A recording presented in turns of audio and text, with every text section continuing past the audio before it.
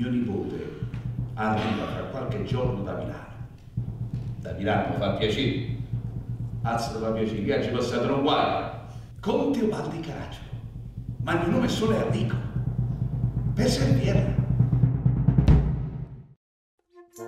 È uno spettacolo bellissimo con un Massimo bravissimo. Ma sto farello che? Che non vede? Figlio, sei ritornato puro stavolta. Ma non vedi che viene più le guardie? Quella donna Paolina Bonaparte. Riesce a cambiare atmosfera con, con uno sguardo, un sopracciglio, un'occhiata, una giratina di testa, una capacità enorme di comunicare le atmosfere con un niente. Ma dov'è?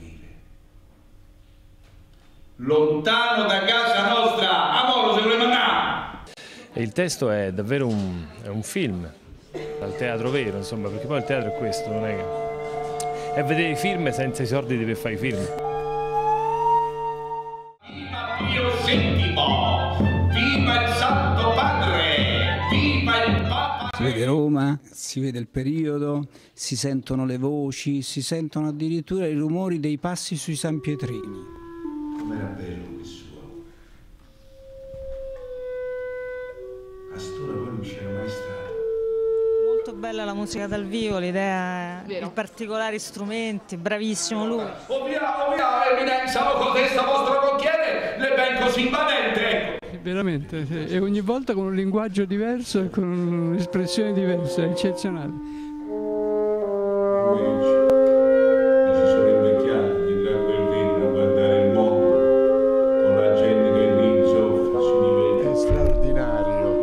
lascia un solo sentimento, l'invidia profonda.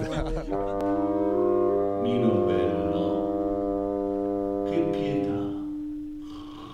non avere nulla, solo due musicisti e la sua capacità di attore sua- straordinario, veramente. Oh my God! Allora se permettete me ne approfitterei pure io. No, di questo coltello, pazza fraccia. Ricordatevi sempre, è vero, che qui siamo a Roma e non a Parigi. E devo dire un bravo proprio all'autore per la parola. La parola è una parola nobile, alta, bellissima, una bellissima pagina di. Signora, viva l'Italia,